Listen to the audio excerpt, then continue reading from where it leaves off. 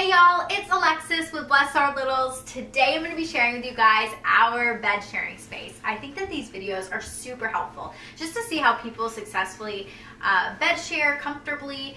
Uh, that was a major thing in the beginning that was difficult. Um, but before I do get into all of our, our whole setup here that we've done, I just want to encourage you to do your own research. Just because I'm doing something doesn't necessarily mean it's safe. I've done a lot of research and I'm going to share all of that with you, but you need to do what's best for you and your family. Just because it works for me or I feel like it's safe doesn't mean it's necessarily safe for you. So I'm not saying, yes, go bed share, it's safe. Um, I think that it can be safe when you are following, oh, thank you, baby, the uh, Safe Sleep 7, which I will link that below. So anyhow, I want to share just a bit of our journey.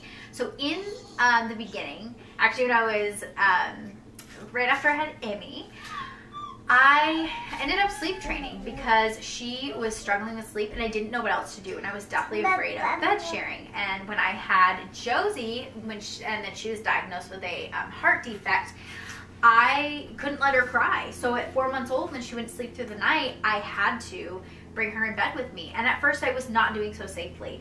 I didn't even know how to do so safely. And so after a couple of weeks of realizing, okay, this is going to become a thing, I ended up researching. And after the research, everything in this video is what I felt like was safe for our family.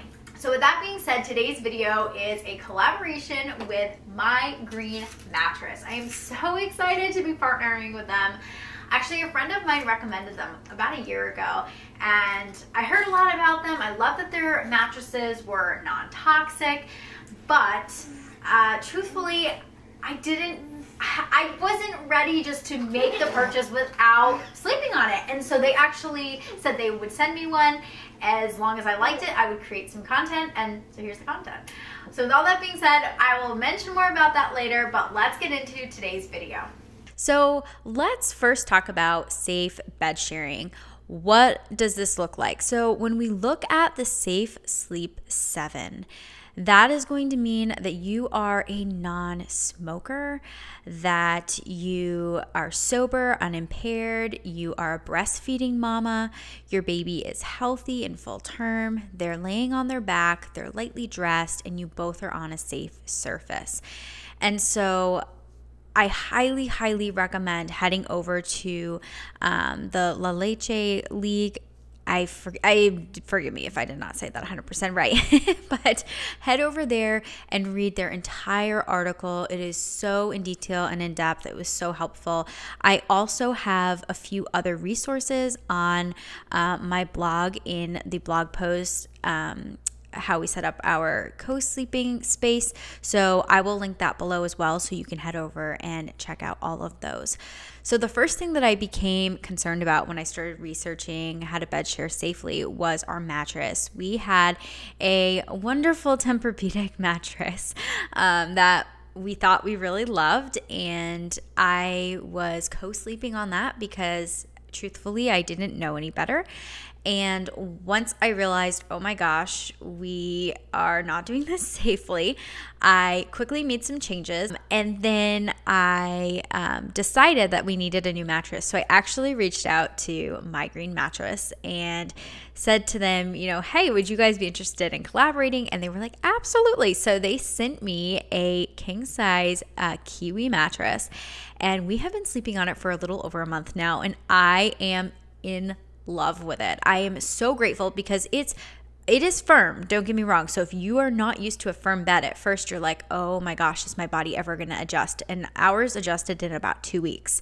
Um, but it feels safe. Like laying my daughter on it feels safe. I feel so much more comfortable. I love that when I pulled it out of uh, the box, that it did not stink. Um, it was quite heavy though. So when my husband was pushing it up the stairs, he was like, This is really, really heavy. So that might be kind of maybe a con to it. It's just that it's pretty heavy, but um, it just it feels like a good quality mattress. So yeah, so that was the first thing I did was change up our mattress. But then I started realizing that, you know, yes, firmness was, you know, an issue. Um, being non toxic was an issue. So I was like, oh gosh, I need some kind of different bedding. So I ended up getting a cooling mattress cover to ensure that my daughter didn't get too hot. She usually runs hot when she sleeps anyway. So I purchased one of these. Um, this one was really cheap from Target. We really like it. The only thing is, it's a little bit crunchy but if you're on a budget like we are you're like i'll do anything for a little bit and it's totally fine.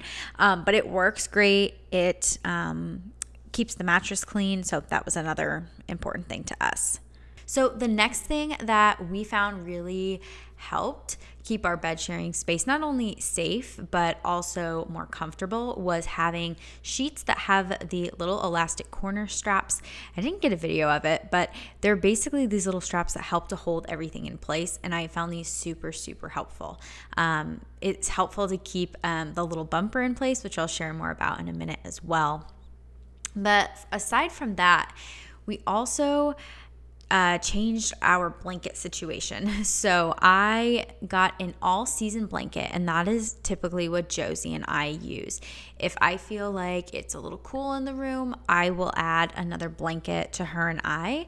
Um, but my husband primarily uses the um, quilt that is on our bed and is very warm. Um, but now that she's getting a little bit older, there are some nights where it is a little chillier, and I've been using the light quilt, and it has been great. I say it's a light quilt. This one feels pretty heavy to me, um, but I did like that it was linen. So maybe in your bed sharing space, you'd want to ensure you had a lightweight uh, quilt just because you want them to be able to kick it off easily, especially when they're very little. It's hard for them to do that. Um, but now that Josie's getting older, definitely feel more comfortable um, having, I would say, more blankets. But as I mentioned earlier, she runs really warm. So I still try to keep a limited amount of blankets on the bed. If I get cold, I will maybe put on like a little sweater or something to keep me warm. But aside from that, I try to keep it very simple on our bed.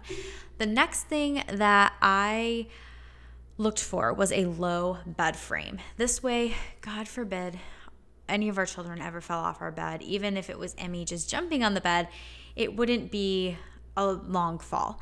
Um, actually, for the newborn phase, we plan on taking this off when we have more children and putting the mattress right on the floor because that is the safest place to put it. So, again, I'm not saying that a low um, bed frame is the way to go necessarily, that it's quote unquote safe, right? But rather, I just kind of wanted to put that in your mind. Think about, you know, what feels safe for your family. And so for us, we felt comfortable doing the low bed frame with an added side bumper, which leads me to my next thing having something on the side so baby doesn't roll off. Even though our bed is a king, I still get this feeling like, oh my gosh, is she gonna fall off? And so, um, there are many different things out there you can get. I just happen to like the side bumpers. Um, I'd actually purchased them so that way when Josie, we still try to transition her into her bed um, for the beginning of the night.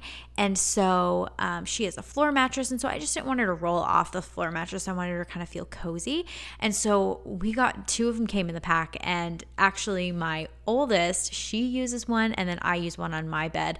Um, and it's just been working out great. So, this is something you might want to keep in mind. But like I said, there's many different options out there. Um, the next thing that we honestly had a hard time with was nightstands. Instead of having a nightstand, put your nursing cart here. Um, you can get those three tier carts from like Target, and those work wonderfully. Um, I think that when we decide to have another baby, I think I'll swap one of these out for that. So this way I can have everything right there for the middle of the night. It makes things so much easier, especially when you're doing, you know, middle of the night night changes and all of that.